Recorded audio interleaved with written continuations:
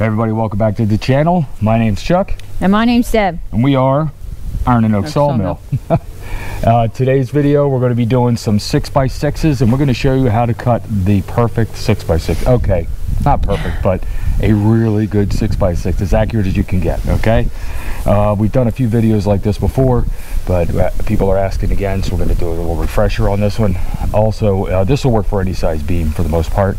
Um, but six by sixes is what we're cutting today. Actually, they want them store-bought size, five and a half by five and a half. So that's what we'll be cutting. We got an order of 24 of these. We only have four done so far, and these have to be done before the end of the year. It is now December 4th. so uh, with the holidays and everything else, we got some work to do. And, and with the rain. And the rain. Yeah, get around Doesn't the rain. Help. And the logs, the logs to move over from the log yard and everything else. So the order is for anything we have. He said just cut whatever doesn't matter what kind of wood it is. So we're going to be mixing it up. I think we've got some ash, some, uh, we're going to have some poplar coming over, but today it's a couple of smaller red oak logs. We're going to try to squeeze probably four to five out of these two logs. Uh, let's see what we can get. Let's get a shot of this. We've been owing this to this guy for a while, so let's get a shot of this real quick. You can see we're running the wood stove. We got smoke coming down here from the chimney, but what I wanted to show you guys is, hey, JPF, Joe's Premium Firewood, check it out he gave us a, he sent us this custom hat also the customized sweatshirt now this was last year this is a hoodie not last year earlier this year he sent it and i don't, I don't want to get it dirty but uh, i've been wanting to wear it for the channel and finally getting uh, finally taking the time out to do that but what he did was customize it with our our logo now we've since changed our logo a little bit made it a little more colorful but this is the original the number one logo right there and then of course jpf here and JPF on the back. So if you want to check out his channel, Joe's Premium Firewood, or Joe's Firewood Videos, and Joe's Firewood Videos too. Check him out on YouTube, guys. So let's go ahead and get started with today's video.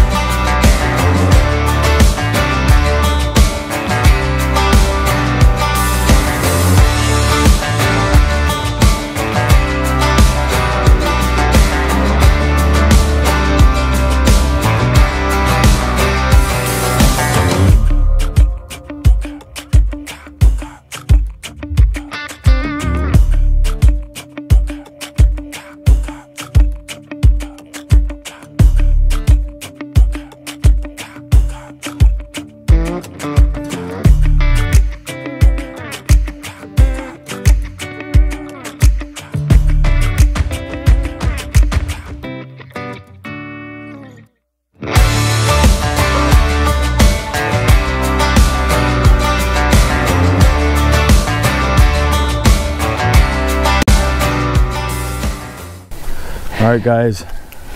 Got to go ahead and get the mill unpacked this morning.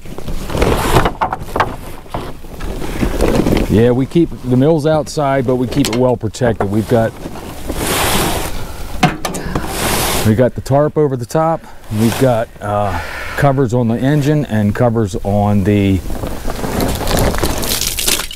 so it's a little cold out here this morning guys. Got some ice on the mill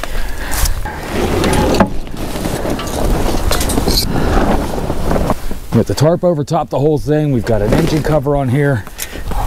We got a control panel cover back here. So the mill is well protected when it's out here. And let me show you what else we have. We have the track covers. And if you want to see how these are made, uh, let me know. Get that with the wheelbarrow. And uh, we put the video together. These are doing well, so I don't need to make any more right now, but I can at least tell you how we make them. So if you want to know how we make them, put it, ask me down in the comments section. I'll be glad to give you a few tips. But they just snap piece of conduit, one inch conduit, and they just snap right over the over the tracks. We do a squirt oil in here, snap them on there, keeps the track from rusting, keeps everything real nice. You do not want this rail to rust.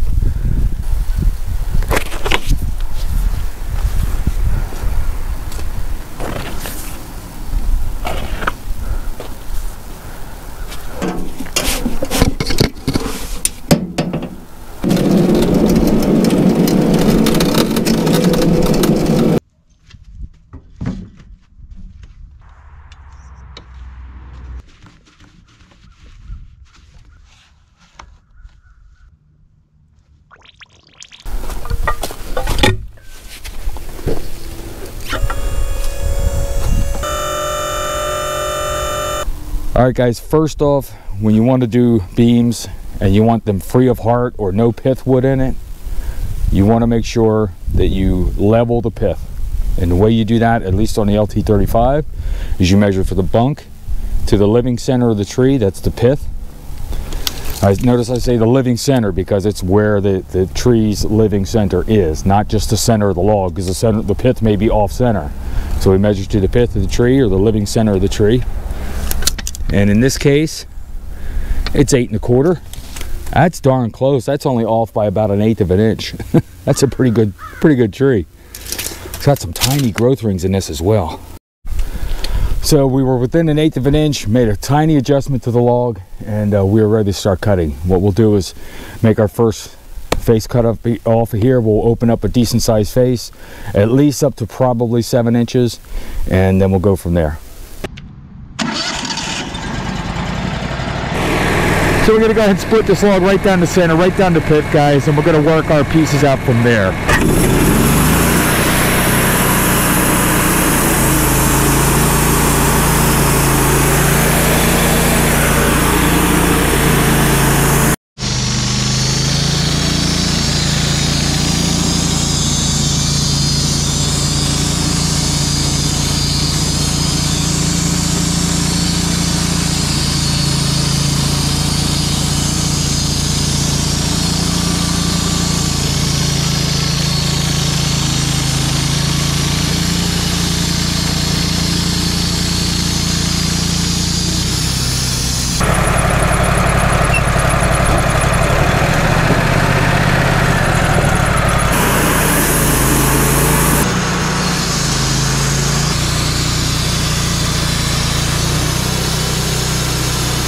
All right guys. The six and a half wasn't quite enough. We're gonna go right to five and a half. And uh, I think that'll give us enough. I'm always concerned that if we do have any bow to it if I go right to the final dimension at this point then I won't be able to clean up any bow that, it, that we create later on. So but I think we're good. There was no stress in there. It stayed really flat. I think we're in good shape. So we're gonna go ahead cut it off at five and a half flip it up on the side, square it up, and uh, cut our other dimension. Let's get started with that.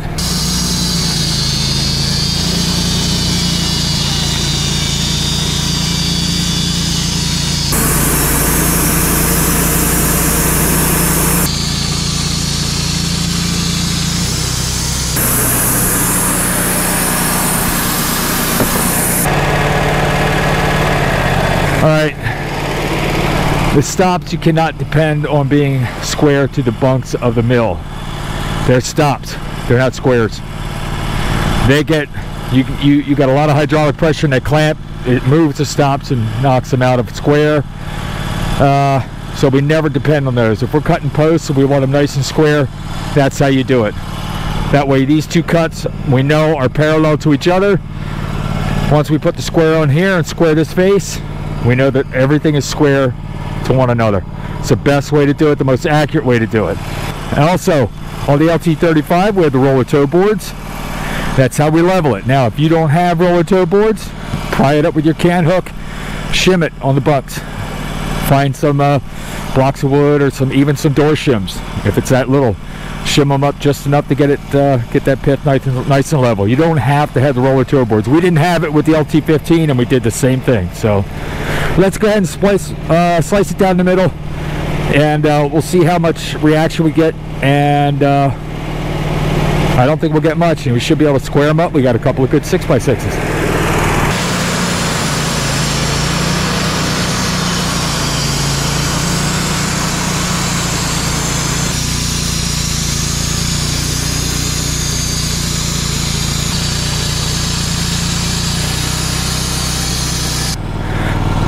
So we do have a little bit of a reactive wood here. It did bow a little bit, but we have plenty of meat in this direction. We can go ahead and clean that up and make sure that they're nice and straight. Let's show you how we get that far. Now let's take her down to six and a half, see where we end up at.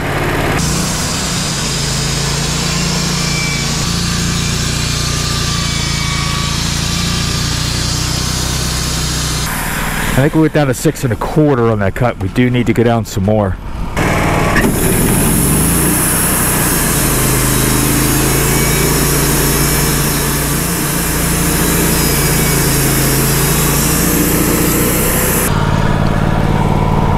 Yeah, it still has some reactive wood in them. Ugh. More in that one than the other one.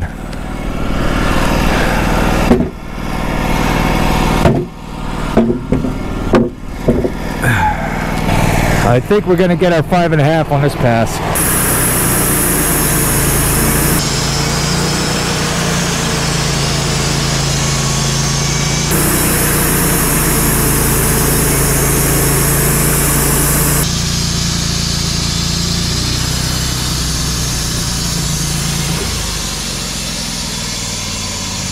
There you have it, guys.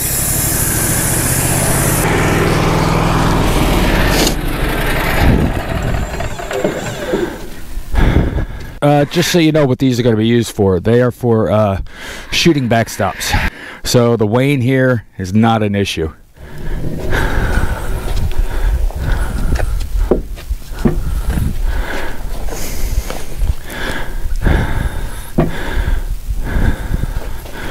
Uh, about as heavy as the ash, right? A little heavier? A little heavier. All right.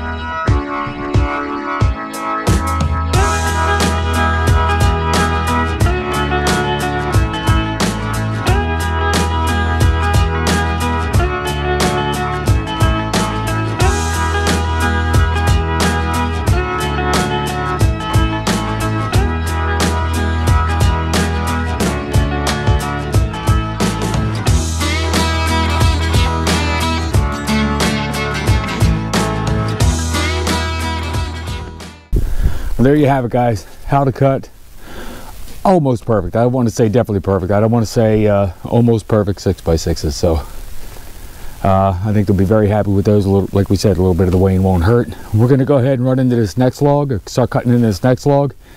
And uh, no chatting this time. We're just going to go through it, cut it. You might see a little bit of change from the first one, because I said, it all depends on the log.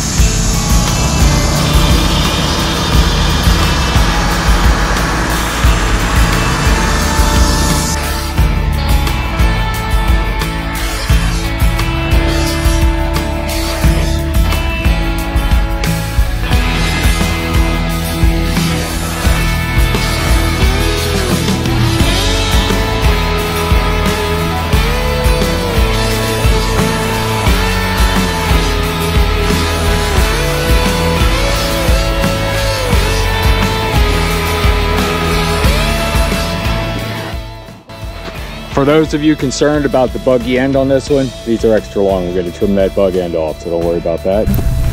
There you have it, guys. Five more 6x6s for this order of 24. That gives us a total of nine here. We need 15 more. So we better get busy. We got to go get some logs out of the log yard. And uh, that's going to mean hooking up the trailer to the Ford and getting over there with the tractor. So to all the folks, if you're new here, thank you for making it to the end of the video. If you're not new here, thank you for making it to the end of the video. But to all of you, thank you for your continued support of the channel. We definitely appreciate that.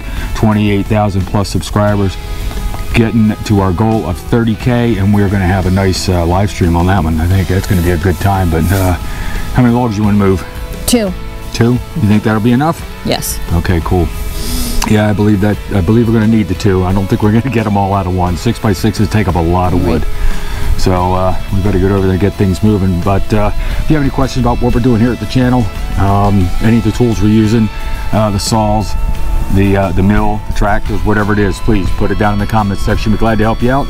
And as always, thanks everybody for stopping out, and we'll see you at our next time. Take care.